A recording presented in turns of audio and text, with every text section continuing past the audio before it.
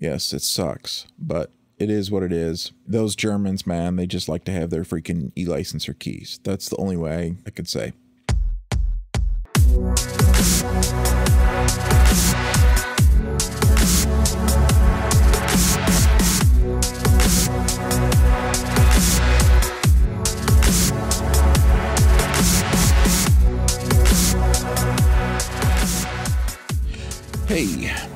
Brian from Logic Pro Hacks. How's it going out there in the Wonderlands, in the Badlands? Hey, guess what I got for you? I got Vienna Pro 6, and I have it working really cool right now. And when I say really cool, I have Reason 10 working with Vienna on a different computer imported into here. Here, I'll show you. Check this out. Let's go ahead and bring over my other computer here. Now, this other computer is remoted in. So I, am using this program called Microsoft Remote Desktop. You can get it out of the App Store from Mac somewhere. Just Google it. Google is your friend, dude. All right. So you just double click on that and we can get in the big screen here. All right. So this is a Windows 7 PC. And how this works is you buy Vienna 6 and you have to have a well, you can't see that. You have to have a e-licenser key. That is the only bad thing about Vienna 6. For every slave computer, you need an e-licenser key. Not like a software key. You have to go out and actually buy a key from either Vienna store or wherever you get an e-licenser USB key from. You can find them on Amazon. I found them pretty much anywhere. Like I, like I said before, Google is your friend. And they sell for about 35 to 40 bucks depending on where you find them. Now, this is not about how to install a key or anything like this. This is basically how to get Reason 10 in. So I just wanted to make that note. You know, if you're going to do three computers, you got to have three keys. All right, so when you install Vienna, you're going to have this. You're going to have this Vienna Ensemble Pro 64-bit and a Pro server, and you're also going to have one without 64-bit and one. So what you really want to pay attention to here is the server version. Don't mind these because this is like if you actually want to run it from your computer and just run it by itself without the server mode. So what I want is this one right here this Ensemble Pro Server 64-bit. This is the one I want right here. And that's the one I, I checked. Now, the cool thing about this one right here is this is the 32-bit one. You can run this one. You can actually run 32-bit VSTs in here. So that's kind of neat. You can also both run these at the same time. Pin them to my task bar. And you just open it up just make sure your your e-licenser key is installed because it'll puke out all this crap stuff if you don't have your e-licenser installed with the USB key. So it's a nice program. Once you get it open, just make sure that your network is working. For example, let's go in here, right click, open network. Just go down here to network icon down here. Open network sharing. Just go to change adapter. But you're not going to change it. Right click on it. Go into properties. Just go in here. Up here it says configure. Well, there it is. And you just want to verify your link speed. You want to make sure that you have a one gigabit because sometimes in these drivers, it may not give you full gigabit. So just make sure that you have full speed. Now on the Logic computer, since this is my master, I do not have to have an e-licenser key. And you'll find it in the VST. There it is, VSL. It'll be under VSL. And what you want, don't pay attention to this. You just want, I usually click the multi-output. Always, I always find I'm using it. There's never a chance I'm not. So I'll explain what the multi-output does. First, so that's where you're going to find the VSL. Now, you open it up, it's going to look like you're going to have a brand new screen. It's going to be totally empty. Is you're going to see a little plus mark. You just click on that and it'll create an instance. And then you can just right click and you can say insert plugin. You can pick whatever you want. Now, this is how you get Reason to work. You have to connect it first. Let me just say that. You have to have a connection in play first. So what do I mean by that? Well, since we've created an instance, you don't have to worry about creating anything in here. When you open up a new instance, just click little plus mark. And It'll come up default with master bus. And then in here, you can pick your inputs, you can pick your plugins, whatever. Now, check this out. I'm going to name this something like test one, whatever. Now, let's go back over to Logic. Let's show you something here. I created an instrument channel. And you pick multi-output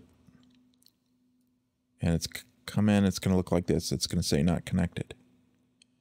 Just hit connect. It's going to take a little bit and then I'll, I'll find. See, there's that test one I just created. And then just click on it and you say connect. It's connected. You can close that out now. You don't have to mess with it anymore. Now, inputs is you can actually route in your own audio interface from the remote, from the slave PC. Now I'll pick in plugin and I'll pick this one plugin. It's called Rewire VST. Google it, uh, kind of like a homemade VST by a guy. And looks like so. And if we click on it, it'll take you to here. And it'll say rewire not available because I'm already using it. And, and you get like seven channels. Know, the cool thing about this is, let's go back and delete this. This was just for show. Make your connection first before you do this rewire VST. Let me say that again. Make your connection in Logic Make sure this says connected before you do the rewire. Let me say that again. Connected first in logic before you choose rewire. Okay? Why is this important? When you go into the rewire right here and you pick it and you choose reason, reason will not start unless it's connected. It's looking for a connection, an audio or something. It's looking for something. And it'll say some engine out error or something like that if it's not connected. So that is why I am so stressing that right now. You have to have this connected first. Let me show you this.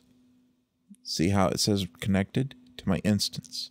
It has to be connected first here before you engage this. All right, made that clear. I still, one of you guys is going to mess it up anyway, so I'm just saying.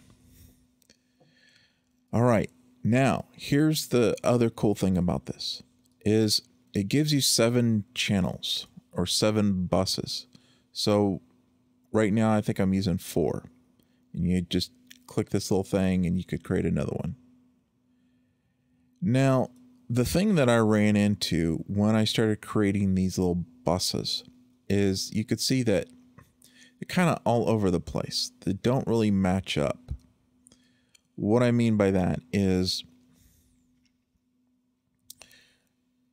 for example, let's go over and by the way, when you click on this thing and you click on Reason, it will automatically open Reason for you. And this will open up and you'll have Reason. Now, and you'll say rewire device mode. Kind of cool, right? Now, here's the, the interesting thing about this here. If I turn around, I have everything routed. I, I'm not using the master. You can use it if you want to. I just felt like it was just a little bit easier to route the audio this way. Now I have this first one going into one, this first one going into channel two and channel three and four, and you know, so on, so on, so on. Now, and logically, you would think bus one, bus two, bus three, and bus four. Well, not so. What I mean by that is, look at this. Re this is the first channel, out one and two. All right, it makes sense. Now look at this. It says, if you go in here, input channel, it says one and two right there. It's kind of strange like that. But you would think it'd be over there. Whatever. And then this one right here says four. And it's it's totally off. You got one, two, three, four, five, six. It just doesn't match. And then this seven and eight, you know, you'd think it'd be like three, four or something, or five, six. And it's not. It's like this one all the way down here. So just FYI, if you do use this, just know that these buses are going to be all jacked up. I don't know if this is something with the the rewire VST, like it just doesn't really match up that well. It's fine, but you could still you just have to go through these little inputs and make sure that you have whatever it is that you need to have. You might have to go through a couple of them before it matches up. So once I got all those to match up, then I was able to go into Logic here. And, you know, I was able to create my four different channels. Don't worry about all this because I'm not even using them. So if we go into, you get up to 32 channels.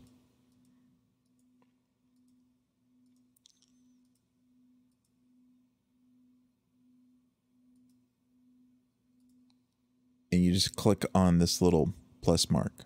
Open up Vienna, and I said, do the multi output one. This one right here. It'll give you this little plus mark. You just click that plus mark over and over until you get enough channels. If we go in here to Reason, and if I just play one of these, let's just play the the synth acid and it's running right now. You can see the, the volume coming out, but I have it muted on Logic. If you go into Logic, it's playing. That's playing, all right. And that one's coming out of channel one and two. Easy enough, right? If we turn around, you can see that it's coming out of one and two, right? And it's the first one. That makes sense, yes. Now if we go over here, this is our kick drum, and I start hit the run on that one, it should come out three and four. And it shows, see how you can select this three and four right here. Three and four. Perfect. All right. And, but the bus is different. That's where it gets a little confusing because I'm thinking it should be this one right here, the bus three, or at least the next one up, but it's not. So you just kind of have to play with this part right here before you find it. And then if we go into right here, this should play out. See, it's going. All right, so that's good. All right. So then if we go back to Reason again, we do the glitch breaks and run it through some FX to make it sound even cooler and you could see that it's coming out five and six. And we go into reason. You can see that it's routed into five and six. But the bus is a little different. It's coming out of bus VST one, four, whatever. Rewire. A little strange. Now, check this out over here. Look how I have the the selection. You get these little drop downs and you can create them with these little things right here. You get up to seven. So I've created four of them. I believe that this is MIDI channel one, this is MIDI channel two, three, and four. It does not seem to line up with the the bus up here.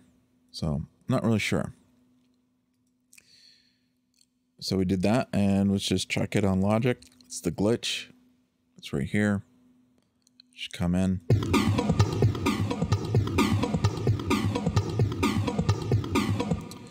So it's got a little rever reverb in it.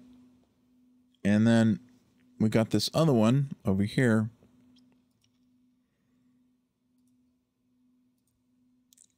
Turn around the rack here. Turn this on. And this is the the cool percussion drum thing. Go over here, you can see it's on now and it's coming out 7 and 8. If we turn around the back, you can see this is routed into 7 and 8. Cool. Now, if we go into our logic, you can see the barumba, whatever it's called.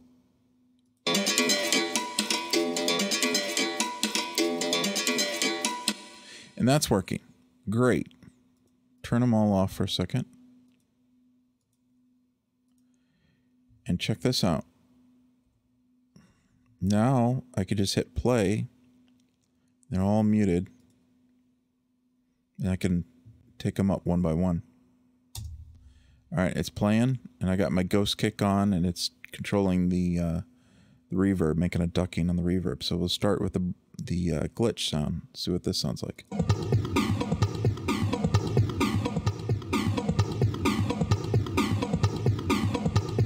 And then we'll add in the baramba.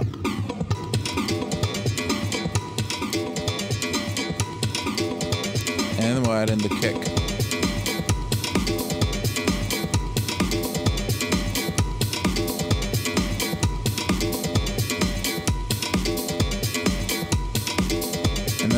The sun.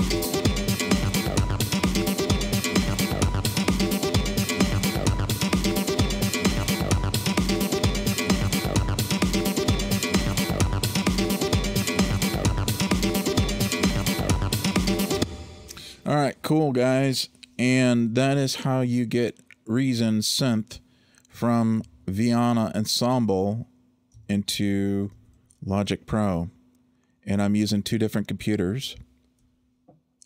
If you have any questions or gripes, complaints, whatever, uh, just hit me up in the comments and I'll try to help you out. And again, remember, my friends, big groovy. Yes. I hope this helps someone out there. Please subscribe, give me a like. More of this networking kind of stuff with music. And if you have any questions, concerns, drop me a comment. I usually respond back within the hour or so. Remember, my friends, big groovy.